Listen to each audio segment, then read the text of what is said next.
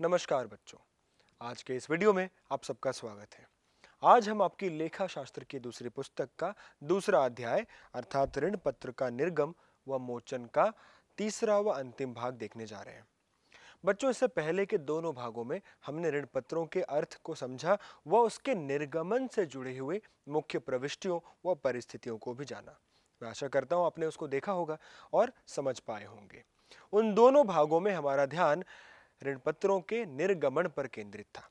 निर्गमन अर्थात उन्हें इशू करना या जारी करना कि कैसे एक कंपनी अलग अलग परिस्थितियों में ऋण पत्र जारी करती है और उसको हम किस प्रकार अपने खातों में दिखाते हैं। आज हमारा ध्यान ऋण पत्रों के मोचन या शोधन या अंग्रेज़ी में रिडेम्पशन पर केंद्रित होगा, जिसका अर्थ होता है कि ऋण पत्रों को वापस लेना।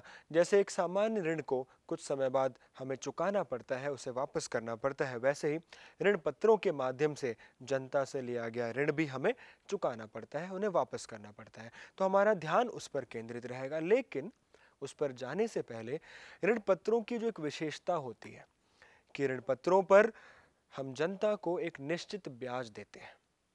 कंपनी द्वारा यह एक निश्चित राशि, एक निश्चित प्रतिशत की राशि पहले से ही अंकित की जाती है, जो कि उसे एक निश्चित अंतराल पर ऋण धारकों को, ऋण पत्र धारकों को देते रहना होता है।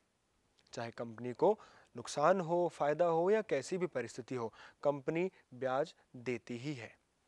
तो ब्याज से जुड़ी हुई क्या एंट्रीज या क्या प्रविष्टियाँ हमें कंपनी के खातों में करनी होती हैं, हम पहले उस पर नज़र डाल लेते हैं। बच्चों ऋण पत्रों में दिया जाने वाला ब्याज जो है ना, वो कंपनी के लाभ पर एक भार होता है। अर्थात कंपनी के लिए एक वो हानि या व्यय की तरह माना जाता है। क्योंकि यदि कंपनी ब्याज देगी तो कंपनी का लाभ घट जाएगा। और उसे निश्चित रूप से चुकाया जाता है। ये भी हमने बात की अभी कि ब्याज से हम बच नहीं सकते, कंपनी को चाहे हानि हो या कोई भी परिस्थिति हो, उसे ब्याज देना ही पड़ता है। बल्कि आयकर अधिनियम 1961 में एक और विशेष प्रावधान है।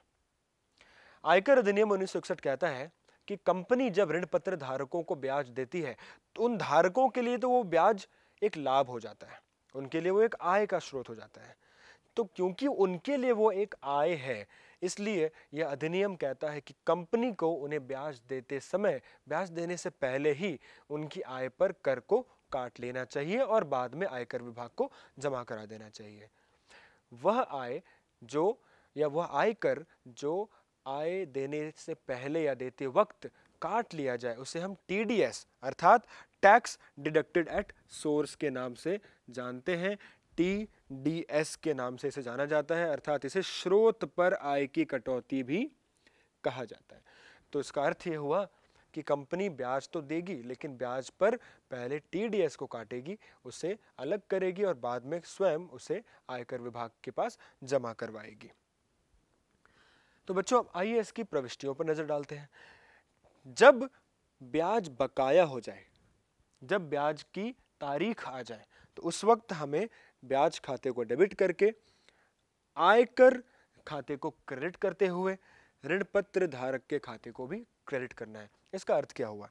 कि ब्याज कंपनी के लिए एक व्यय या लाभ पर प्रभार है तो ब्याज को तो डेबिट होना चाहिए। आयकर कंपनी इस ब्याज में से काट रही है। कंपनी के लिए वो एक दायित्व भी है, क्योंकि कंपनी को उसे बाद में आयकर विभाग के पास जमा भी कराना है। तो कंपनी के लिए वह एक दायित्व है तो उसे हमने क्रेडिट किया। और क्योंकि अब ब्याज की राशि देय बन चुकी है, ऋण पत्र धारक हमारे लिए एक दायित्व बन गए हैं तो उसे भी हमने क्रेडिट किया। इसके पश्चात जब हम ब्याज का भुगतान करेंगे तो ऋण पत्र धारक को डेबिट कर देंगे और बैंक खाते से राशि को निकालकर दिखा देंगे। अब यह ब्याज की राशि कंपनी के लिए तो एक प्रकार की हानि है तो उसे हम लाभ व हानि खाते में डाल देंगे। तो हमारी एंट्री हो जाएगी लाभ व हानि खाता डेबिट और ऋण पत्र ब्याज क्रेडिट बच्चों, इसके पश्चात अब कंपनी को उस कर को भी जमा कराना है। तो कर जमा कराते वक्त हम आयकर देय खाता डेबिट करके बैंक खाता क्रेडिट कर देंगे। तो ये चार मुख्य प्रविष्टियाँ हमें ब्याज से जुड़ी हुई करनी पड़ती हैं तिथियों के अनुसार। इसे और अच्छे से समझने के लिए अब हम एक उदाहरण का सहारा लेते हैं। बच्चों, एक अप्रैल 2016 को ए लिमिटेड ने सौ रुपए प्रत्येक के दो हज़ार ऋण पत्र बट्टे पर निर्गमित किए। इन ऋण पत्रों पर ब्याज की दर दस प्रतिशत की है। उन्हें दस प्रतिशत का डिस्काउंट यानी बट्टे पर भी जारी किया गया है। इनका मोचन हमें दस प्रतिशत प्रीमियम पर करना है। अब ऋण पत्रों के निर्गमन तथा 31 मार्च 2017 की समाप्त अवधि के लिए। हमें प्रविष्टियाँ करनी है। प्रविष्टियाँ हमें इस प्रश्न में केवल निर्गमन से जुड़ी हुई, वह 31 मार्च 2017 की अवधि जब खत्म होगी, जब वह वित्त वर्ष खत्म होगा तो उस वर्ष में ब्याज से जुड़ी हुई जो भी प्रविष्टियाँ हैं, वो भी हमें करनी है। हमें यह मानकर चलना है बच्चों, बहुत ही महत्वपूर्ण जानकारी यहाँ पर है कि यह ब्याज अर्धवार्षिक रूप से प्रदत्त है, यानी ब्याज छह माही तौर पर दिया जाएगा। छह छह महीने पर ब्याज दिया जाएगा, जिसमें आधा भुगतान पहले छह माही के अंत पर, यानी तीस सितंबर को, जबकि बाकी का आधा भुगतान अगली छह माही के अंत पर, यानी इकतीस मार्च को। और ब्याज की दर हम पहले ही देख चुके हैं कि दस प्रतिशत ब्याज की दर है। तो बच्चों, आगे चलते हैं और देखते हैं कि अब इनकी प्रविष्टि हम किस प्रकार करेंगे। एक अप्रैल को जब हमें आवेदन प्राप्त हुए तो हमने आवेदन की राशि यहाँ दिखाई। बैंक खाता और ऋण पत्र आवेदन व आवंटन खाता, जो कि हम पहले भी देख चुके हैं। क्योंकि एक लाख अस्सी हज़ार रुपए की राशि कहाँ से आई बच्चों? सौ रुपए का हमारा ऋण पत्र है। दस प्रतिशत उस पर बट्टा है। यानी ऋण पत्र का जारी किया गया मूल्य हो गया नब्बे रुपए एक ऋण पत्र कंपनी ने जनता को नब्बे रुपए में दिया है। और ऐसे दो हज़ार ऋण पत्र हैं तो इस प्रकार कुल मूल्य कितना आ गया? दो हज़ार गुणा नब्बे, एक लाख अस्सी हज़ार रुपए फिर इसे हमने हस्तांतरित करना है। तो हस्तांतरित करते वक्त जैसा कि हमने पिछले भाग में भी सीखा था, हमें मोचन की परिस्थिति का भी ध्यान रखना है। पहले तो हमने आवेदन व आवंटन खाता एक लाख अस्सी हज़ार रुपए डेबिट किया। हमें यह भी ध्यान होगा पिछले भाग से कि ऋण पत्र खाते को कुल राशि जो कि दो लाख की है, उससे हम क्रेडिट करेंगे। अब इसके पश्चात कंपनी ने एक तो बट्टे पर यानी डिस्काउंट पर जारी किया। पहले तो कंपनी को बीस हज़ार रुपए का यह डिस्काउंट भी दिखाना है। इसके पश्चात कंपनी जब यह ऋण पत्र मोचन या वापस करेगी तो भी कंपनी दस प्रतिशत का प्रीमियम दे रही है। दो लाख रुपए पर दस प्रतिशत का प्रीमियम यानी बीस हज़ार रुपए प्रीमियम देगी, जो कि मोचन पर दिया जाएगा। यह भी कंपनी के लिए एक हानि है।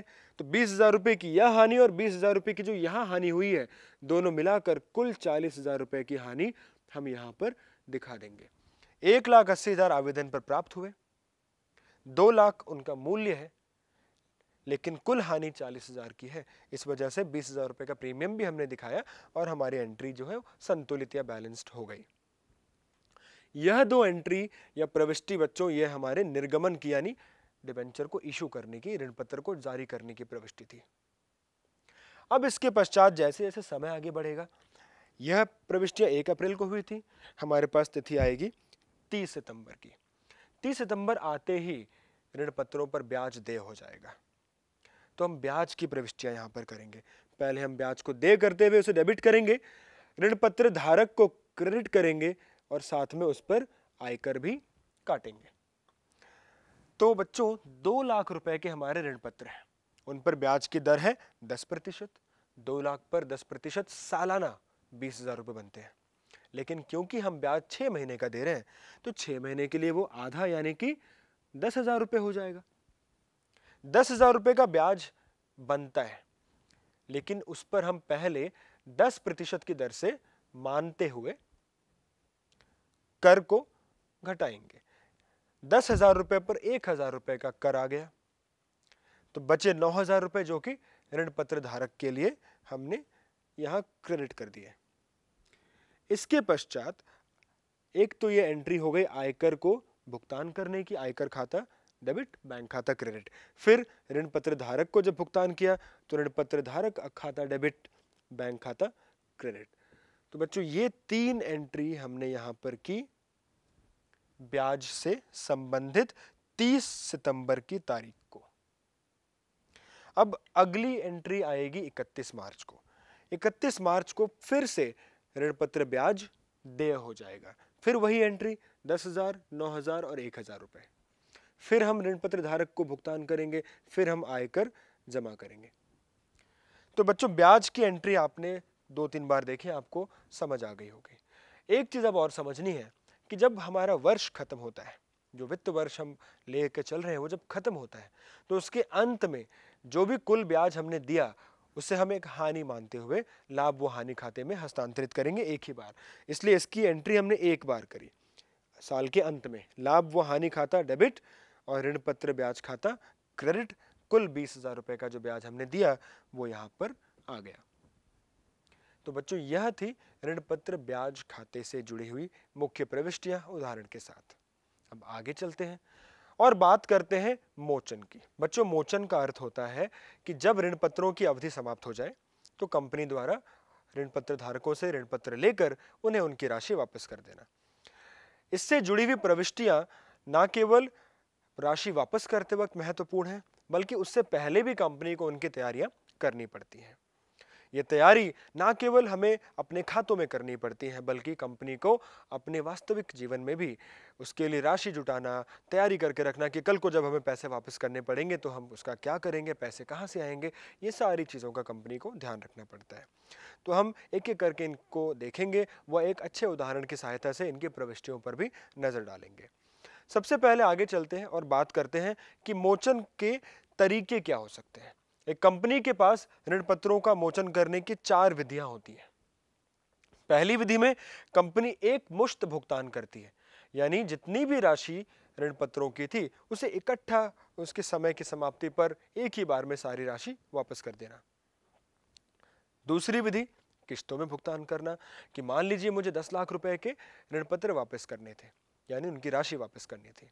तो मैं यदि चाहूँ तो पाँच वर्षों में पाँच किस्तों में दो दो लाख रुपए करके वापस करूँ या इस तरह की अन्य किस्तें बनाकर भी वापस कर सकता हूँ, जैसा कि सामान्यतः किसी भी ऋण में होता है। इसके पश्चात ऋण पत्रों में एक जो अगली विधि है, वो यह कहती है कि कंपनी यदि चाहे तो ऋण पत्र धारकों से उनकी राशि वापस करके ऋण पत्र लेने की बजाय खुले बाज़ार में आम निवेशकों की तरह जाकर ऋण पत्र खरीद सकती है। इसे खुले बाज़ार का क्रय कहते हैं। वह आखिरी विधि है। जैसा कि हमने शुरुआत में भी देखा था कि कुछ ऋण पत्रों पर कंपनी या पहले से ही विकल्प देकर चलती है कि समय आने पर ऋण पत्र धारक चाहे तो उन ऋण पत्रों को अंशों में परिवर्तित कर सकते हैं या उनके बदले में नए ऋण पत्र भी ले सकते हैं। तो ये चार परिस्थितियाँ हैं, ये चार विकल्प हैं जिनके द्वारा कंपनी किसी ऋण पत्र के श्रेणी में जारी किए गए ऋण पत्रों को कैंसिल या निरस्त करती है, उनकी राशि को भुगतान करती है। हम इन विधियों पर ज़्यादा चर्चा नहीं करेंगे। हम एक विधि की सहायता से उदाहरण देख, लेकर इसको समझेंगे। लेकिन उदाहरण व प्रविष्टियों पर जाने से पहले मोचन से जुड़ी हुई कुछ बहुत महत्वपूर्ण जानकारी हमें अच्छे से ध्यान रखनी है।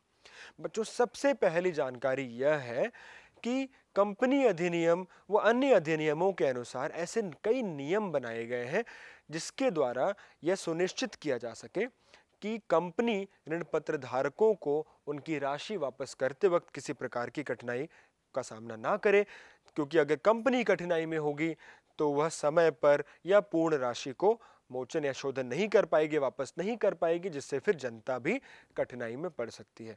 तो सभी नियामक, सभी अधिनियम जनता के कल्याण को ध्यान में रख के बनाए जाते हैं। इसलिए ऐसे कई नियम बनाए गए ताकि कंपनियाँ पहले से राशि जमा करें, तैयारी करें कि जब ज़रूरत पड़े मोचन की राशि वापस करने की तो कंपनियों के पास उसके लिए उचित प्रावधान पहले से मौजूद हो।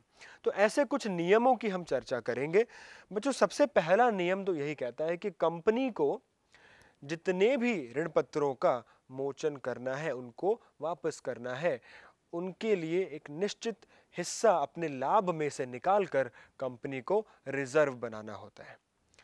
जैसा कि आप देख सकते हैं कि इन प्रावधानों के अनुसार कंपनी को लाभ का एक हिस्सा प्रति वर्ष अलग रखना होता है। अपने लाभ में से राशि निकालकर उन्हें अलग रखनी होती है जिसे ऋण पत्र मोचन के निधि के नाम से, निधि या रिज़र्व या फंड अलग अलग नामों से हमें बुला सकते हैं।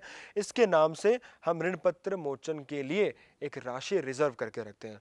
इसे हम तब तक रिज़र्व करके रखते हैं जब तक कि ऋण पत्र मोचनीय ना हो जाए। ऋण पत्रों के मोचन के लिए जमा राशि को कंपनी और किसी जगह उपयोग नहीं कर सकती। यह भी एक ध्यान रखने योग्य बात है कि उस राशि का कहीं और उपयोग नहीं किया जा सकता।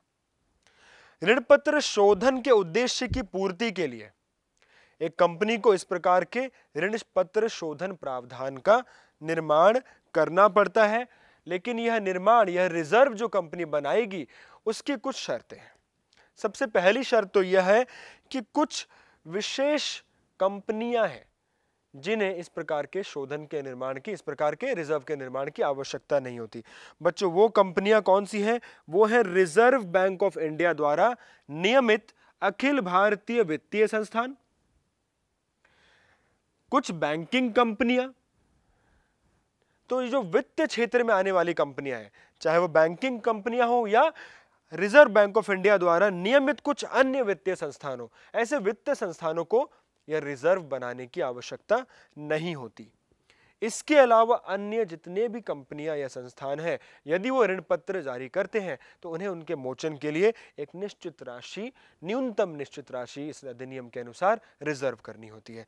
वह रिज़र्व 25 प्रतिशत न्यूनतम होना चाहिए। बच्चों 25 प्रतिशत जो है, वह मोचनीय ऋण पत्रों की राशि का 25 प्रतिशत है यानी कि यदि एक कंपनी को अगले साल मान लीजिए दस लाख रुपए के ऋण पत्र मोचन या शोधन करने हैं तो कंपनी को उससे पहले उसका न्यूनतम 25 प्रतिशत, यानी ढाई लाख रुपए एक रिज़र्व बनाकर, जिसे हम डिबेंचर, रिडेम्पशन रिज़र्व या ऋण पत्र शोधन रिज़र्व कहते हैं, उसमें कम से कम 25 प्रतिशत रिज़र्व रखने होंगे। कम से कम है, इसका अर्थात है कि कंपनी उसे ज़्यादा भी रिज़र्व बना सकती है। रिज़र्व बनाने की तिथि भी निर्धारित है। यदि हमें अगले वर्ष ऋण पत्रों का शोधन करना है तो हमें उससे पिछले वाले वर्ष में 31 मार्च तक यह रिज़र्व बना लेना चाहिए। हम उससे पहले जब चाहे बना सकते हैं, लेकिन अंतिम तिथि 31 मार्च है। इस वर्ष का 31 मार्च अगले वर्ष के मोचनीय ऋण पत्रों की राशि का 25 प्रतिशत बनाने के लिए हमारे को दिया गया है। बच्चों, ये शोधन या जो, ये जो हम रिज़र्व बना रहे हैं, यह कंपनी लाभ की राशि से ही बना सकती है। वह लाभ जो सारे खर्चे पूरे करने के बाद लाभांश के रूप में बचा है। ठीक है? तो एक बार वापस देखते हैं क्या क्या मुख्य बातें हमने देखी। पहली बात कि इस तरह के रिज़र्व को बनाने के लिए बैंकिंग कंपनियों या आरबीआई द्वारा नियमित कुछ अन्य वित्तीय संस्थानों को इससे छूट दी गई है। वो चाहे तो इसे ना बनाए। अन्य सभी कंपनियों को इस प्रकार का रिज़र्व बनाकर रखना पड़ता है। इस रिज़र्व की राशि कितनी होनी चाहिए? न्यूनतम 25 प्रतिशत। उन ऋण पत्रों का जो आने वाले वर्ष में मोचन किए जाएँगे। कंपनी चाहे तो ज़्यादा राशि भी रख सकती है। फिर यह रिज़र्व बनाने की अंतिम तिथि पिछले वर्ष के 31 मार्च तक की है। फिर हमने देखा कि यह रिज़र्व कंपनी लाभांश योग्य बची लाभ की राशि से ही बना सकती यानी जो लाभ हुआ, उसमें से सारे खर्चे निकालने के बाद जो लाभांश के रूप में राशि बची है, उसमें से कंपनी को यह रिज़र्व बनाना होता है। इस रिज़र्व को हम डिबेंचर, रिडेम्पशन रिज़र्व या फिर ऋण पत्र मोचन रिज़र्व या निधि के नाम से जानते हैं। बच्चों, इसके अतिरिक्त, एक अतिरिक्त सुरक्षा प्रदान करने के लिए अधिनियम में एक और कानून बनाया गया एक और नियम बनाया गया है कि कंपनी रिज़र्व तो बनाएगी ही, साथ ही साथ कंपनी को जितने भी ऋण पत्र इस वर्ष में मोचन करने हैं, उनका न्यूनतम पंद्रह प्रतिशत एक निवेश भी करना पड़ेगा, जिसे डिबेंचर रिडेम्पशन इन्वेस्टमेंट या ऋण पत्र मोचन निवेश के नाम से जाना जाएगा। एक मिनिमम या न्यूनतम पंद्रह प्रतिशत की राशि उन्हें निवेश के रूप में इस निवेश खाते में भी रखनी पड़ेगी। इस राशि को निवेश करने की या इस खाते को बनाने की भी अंतिम तिथि है 30 अप्रैल तक की। जिस वर्ष में यह मोचन होगा, उसके 30 अप्रैल तक की तिथि तक यह निवेश भी हो जाना चाहिए। जैसा कि आप यहाँ पर देख सकते हैं, प्रत्येक कंपनी से अपेक्षित होता है कि वो प्रत्येक वर्ष के 30 अप्रैल को या उससे पहले 30 अप्रैल अंतिम तिथि है। उससे पहले आने वाले 31 मार्च को जो भी उसे ऋण पत्र मोचित करने हैं, उनकी राशि का 15 प्रतिशत निवेश के रूप में रखना पड़ेगा। बच्चों, इसमें निवेश के जो स्रोत है कि कंपनी इस राशि को कहाँ निवेश कर सकती है, उसके भी कुछ विशेष स्रोत कंपनी के लिए बताए गए हैं। यानी यह निवेश केवल कुछ इंगित या पहले से अधिनियम में दिए गए स्रोतों में ही किया जा सकता है। कंपनी अपने मन से जहाँ चाहे वहाँ निवेश नहीं कर सकती। कुछ विशेष सरकारी निवेश स्रोत हैं जहाँ पे कंपनी इस राशि को निवेश कर सकती है। बच्चों, ये रिज़र्व का नियम या इस निवेश का नियम, ये सब बनाने के पीछे मकसद यही होता है कि जनता को उनके राशि की सुरक्षा सुनिश्चित की जाए। हमें इनके मुख्य सूचनाएँ या मुख्य बिंदुओं को ध्यान रखना है। रिज़र्व की तिथि 31 मार्च निवेश की तिथि 30 अप्रैल। तो बच्चों, आइए इस उदाहरण को लेते हैं और आराम से एक एक करके इन प्रविष्टियों को भी समझते हैं जो कि मोचन से जुड़ी हुई है। हमारे उदाहरण में एक्स वाई जेड लिमिटेड नाम की एक कंपनी है, जिसने 1 अप्रैल 2013 को सौ रुपए के 200 ऋण पत्र जारी किए। इन ऋण पत्रों को 10 प्रतिशत के बट्टे पर जारी किया गया, जो कि लाभ में से 10 प्रतिशत प्रीमियम के साथ मोचनीय है। यानी मोचन पर हम 10 प्रतिशत का प्रीमियम देंगे, जारी 10 प्रतिशत के बट्टे पर हुए ऋण पत्रों के निर्गम व मोचन के समय की प्रविष्टियाँ हमें अभिलिखित करनी है। यदि चौथे वर्ष के अंत में एक मुश्त इन्हें मोचित किया गया तो यह हमारे मोचन की शर्त है कि मोचन जो है वो चौथे वर्ष के अंत में एक साथ पूरी राशि का किया जा रहा है। निदेशकों द्वारा यह तय किया गया है कि 31 मार्च 2017 को, जारी करने के चार वर्ष बाद 31 मार्च 2017 को ऋणपत्र मोचन निधि बनाकर जो भी न्यूनतम राशि है, वो उसमें हस्तांतरित की जाएगी। तो न्यूनतम राशि तो हमें पता ही है 25 प्रतिशत की राशि न्यूनतम बनानी है। हमें यह भी पता है कि क्योंकि यह एक रिज़र्व है तो यह कंपनी अपने लाभ से निकालकर बनाएगी। तो आइए इसकी प्रविष्टियों को देखते हैं बच्चों। सबसे पहले एक अप्रैल 2013 को हमारी वही आवेदन की प्रविष्टि, जिसमें हमने बैंक खाते को डेबिट किया, आवेदन व आवंटन खाते को क्रेडिट किया। हमारे सौ रुपए के 200 ऋण पत्र थे, जिन्हें हमने 10 प्रतिशत के डिस्काउंट या बट्टे पर जारी किया तो नब्बे रुपए का वो हो गया। नब्बे रुपए गुणा दो सौ ऋण पत्र, यानी अठारह हज़ार रुपए बैंक में आ गए। फिर हमने इसे हस्तांतरित करना है। फिर से वही एंट्री हम देखेंगे जो हम पहले भी देख चुके हैं कि आवंटन खाते में हमने यहाँ पर अठारह हज़ार रुपए लिखे। ऋण पत्र खाते में हमने कुल राशि दिखानी है, जो कि मैं आपको कई बार सिखा चुका हूँ। कुल राशि ऋण पत्र खाते में आ गई। इसके पश्चात अब एक तो कंपनी ने दो हज़ार रुपए का यहाँ पर डिस्काउंट दिया। और दूसरा, कंपनी मोचन के वक्त भी 10 प्रतिशत प्रीमियम देगी। तो दो हज़ार रुपए वो भी कंपनी के लिए एक हानि हो जाएगी। तो कुल चार हज़ार रुपए की हानि ऋणपत्र निर्गम पर हानि खाते के नाम से हम डेबिट करेंगे। और जो दो हज़ार रुपए मोचन पर प्रीमियम देना है, क्योंकि वो भविष्य में दिया जाना है, वो कंपनी के लिए एक दायित्व है। तो उसे हम क्रेडिट करेंगे ऋण पत्र मोचन पर प्रीमियम के नाम से। बच्चों, ये दो एंट्री हमारी निर्गम या जारी करते वक्त हम करते हैं। इसके पश्चात बच्चों अब आते हैं मोचन पर। मोचन से पहले 31 मार्च 2016 को। हमें ऋणपत्र मोचन आरक्षित खाता यानी डिबेंचर रिडेम्पशन रिज़र्व या ऋण पत्र शोधन रिज़र्व भी आप इसे कह सकते हैं। इस खाते के नाम से हमने पाँच हज़ार रुपए का रिज़र्व बनाया। पाँच हज़ार क्यों? क्योंकि कुल ऋण पत्र बीस हज़ार के हैं, उनका पच्चीस प्रतिशत हो जाएगा पाँच हज़ार। तो पाँच हज़ार रुपए का हमने रिज़र्व बनाया, जिसे लाभ व हानि खाते से निकाला। इसके पश्चात हमें निवेश करना है। तो बच्चों, निवेश की तिथि प्रश्न ने नहीं बताई तो हम खुद क्या लेंगे इसे? 30 अप्रैल, जो कि अधिकतम तिथि है। 30 अप्रैल पर निवेश किया है। निवेश कितना? बीस हज़ार रुपए के ऋण पत्र है, उनका 15 प्रतिशत, जो कि तीन हज़ार आ जाएगा। तो बच्चों, हमने रिज़र्व बना दिया, निवेश कर दिया।